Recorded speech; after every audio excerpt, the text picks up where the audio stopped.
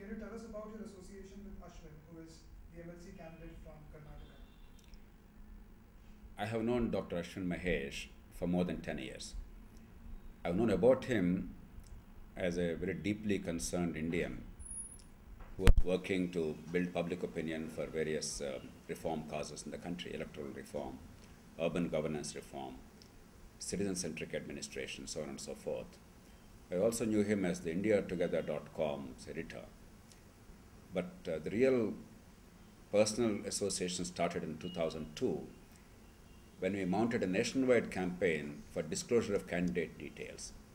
On the basis of Lok Satta's work in 1999 on identifying criminals contesting elections in the Assembly and Parliament in Andhra Pradesh, it created a sensation at that time.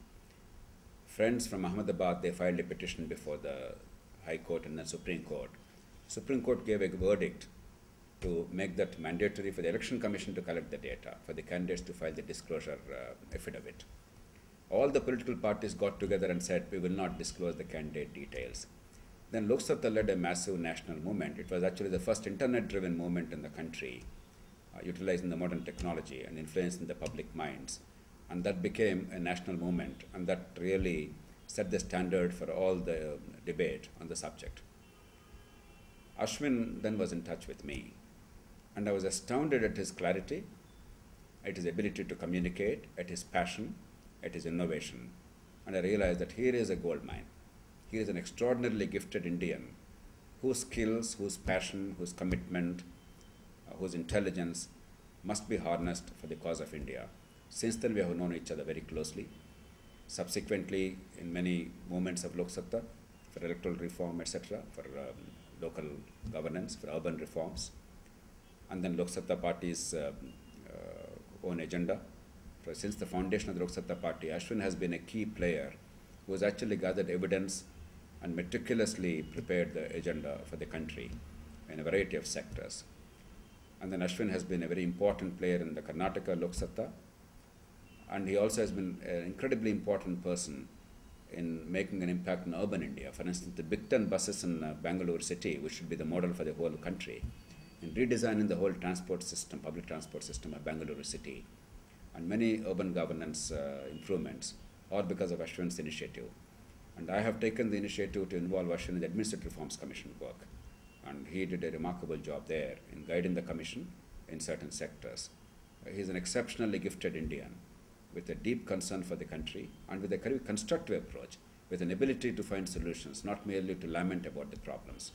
And he has a very consensual approach. He wants to bring people together and find a common ground for a better India, not merely divide India on so many sectarian grounds. So that sounds very interesting. Can you tell us what distinguishes Lok Satta Party and Ashwin in particular as a candidate with respect to the mainstream? You take the way Ashwin became a candidate. Ashwin could have been anointed as a candidate by Karnataka unit of Lok Satta or the Lok Satta national unit. Instead, Ashwin was elected in a primary election as the candidate of Lok Satta party after the members voted voluntarily in a secret ballot. That is internal democracy, not merely uh, in word but actually indeed practiced. That means a person of Ashwin's caliber had to run the risk of not being nominated by the party members. There is no guarantee that when members sit together, they will always nominate the best person. Electoral democracy always has its ups and downs. Nevertheless, unless we are willing to put ourselves up for that kind of an electoral system, internal democracy, it cannot work. And everything is transparent in terms of the funding and its utilization. There's no vote buying, there's no distribution of liquor. There cannot be any sectarian agenda of dividing society on caste, region, religion, and communal lines. It has to be a national agenda. It has to be a state or city agenda. And uh, it is about specific deliverables. And it's about track record. See Ashwin's track record. He's not a person who brings 10 crore rupees on the table and says, I will now give a mobile telephone to every voter and get the vote. If Ashwin really wanted to make money with his enormous talents, he's one of the most um, educated, one of the most skilled, one of the most accomplished Indians. Worked everywhere from NASA to all kinds of things in the world and in the country. And he is uh, supremely accomplished in the modern technology of uh, electronics and communications and internet um, and the social media. But despite that, he utilized all his gifts for the country. He decided to serve the country's cause, not utilize his talents for personal gain. Otherwise, he probably would have had that money also to spare for elections. But that's not the pattern of Lok Satta. The voting must be voluntary, it must be for the cause. Election is not about the person who's contesting, it is about the people who are voting. It's about building a better India. And Ashwin is a superbly suited candidate for that kind of an approach, for new politics for a new generation of Indians.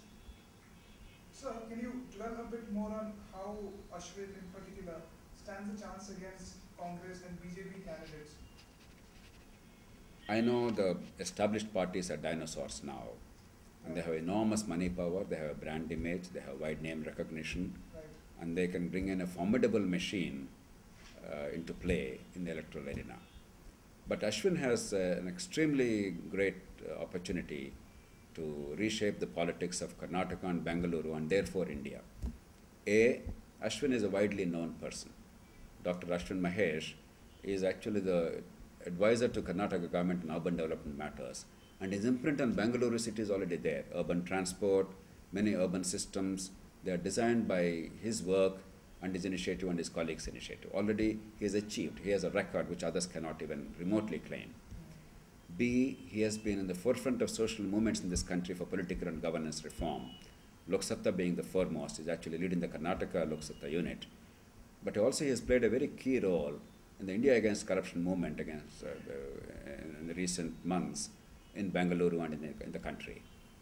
And C, this election being among the graduates, what you require is the ability of the graduates to be registered as voters and the willingness to come forward and vote.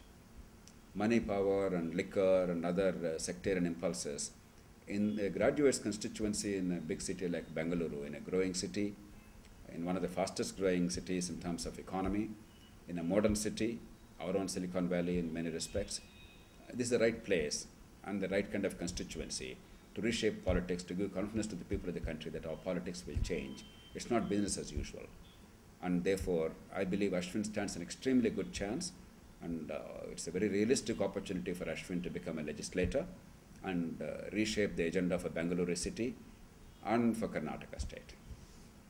So we understand that this is election for an MLC. Uh, can you explain to us how, uh, what role do you think an MLC can play in bringing change to our system? In terms of sustaining a government in Karnataka, an MLC has no role, that is true. It is the majority in the lower house, the assembly, that counts for the government's formation and its survival. But otherwise, in all respects for legislation, the legislative council plays roughly the same role, though the powers are not the same as that of the assembly. In real terms, what you say, your voice, your clarity of purpose, and the vision you bring to the table will have profound impact on making of laws and policies. And two, legislative council is a forum where you don't have the rough and tumble of politics at the large level. You don't have to deal with the whole constituency where poverty, illiteracy, the massive disadvantages that the poor people of the country suffer from, they impact the votes, and therefore the money power, the distribution of liquor, and the influence of the local cliques, local networks, and feudal uh, oppression, they all play a significant role. But this is a graduates' constituency, and therefore, his being there on behalf of the educated graduates, he can actually reshape the urban agenda. Politics in India is so far very rural driven, whereas Indian economy is increasingly urban. Indian society is getting increasingly urbanized. In some ways, already 40 to 50 percent of India is either urban or peri-urban. But the political weight of the urban areas is not felt. Once people like Ashwin play an important role in politics, in the upper house, in any house for that matter, they can actually reshape the way we look at India. A recognition that it's the young people that uh, really determine the future of the country, a recognition that the technology driven people that are the future of the country, a recognition that urban India is the future of the country. And Ashwin represents all these three segments. And I think he has a great opportunity and he has the great capacity of leadership to really reshape politics and give confidence to the whole country. It's not merely about Bangalore city or Karnataka, it's really about India. And somebody like Ashwin getting in and winning, not with money power, not with muscle power, not because of the patronage of some political bosses, not because his son and daughter are a politician, but because he is what he is. He is a wonderful Indian, an accomplished Indian, whose heart beats for this country, who knows what to do, who has the solutions. If such people are seen to be succeeding, it will be a great contribution to India's political evolution. So we would like to thank you for sparing your time and giving views on this. And we look forward to your coming to Bangalore as a part of the campaign for Lok Satta. It will be my pleasure and honor because success everywhere is required. This is not about Karnataka or Andhra Pradesh or Tamil Nadu, it's about India. And for Lok Satta, nation above self. Nation above party and party above self. And therefore, all of us must work together and I'll be very happy to campaign for Ashwin and very proud to seek votes on his behalf. Thank you so much.